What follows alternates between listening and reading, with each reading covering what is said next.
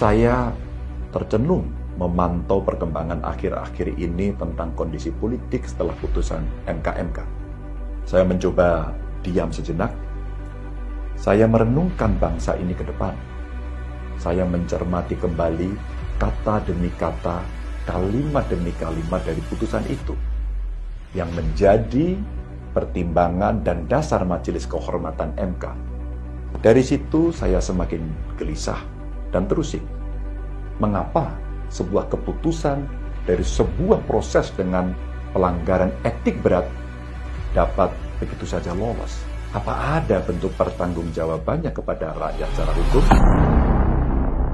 Mengapa keputusan dengan masalah etik, di mana etik menjadi landasan dari hukum, masih dijadikan rujukan dalam kita bernegara? Mengapa hukum tampak begitu menyilaukan hingga menyakitkan mata sehingga kita, rakyat, sulit sekali memahami cahayanya. Saya berbicara sebagai bagian dari warga, sebagai bagian dari rakyat yang ikut gelisah melihat demokrasi dan keadilan yang sedang mau dihancurkan. Majelis Kehormatan MK telah menyampaikan keputusannya.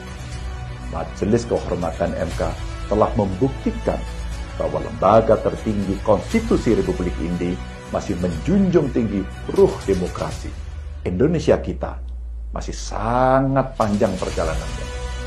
Saya berharap masa depan Indonesia dapat dibangun dengan fondasi yang berdasar nilai-nilai luhur bangsa, tanpa tendensi apa pun yang mencederai demokrasi dan keadilan. Kita, generasi yang ada saat ini, punya tanggung jawab sejarah Apakah kita akan mengorbankan sejarah panjang Indonesia ke depan? Jawaban saya, tidak. Kita akan memastikan sejarah yang terang, memastikan demokrasi dan keadilan sampai selamanya. Diam bukan sebuah pilihan.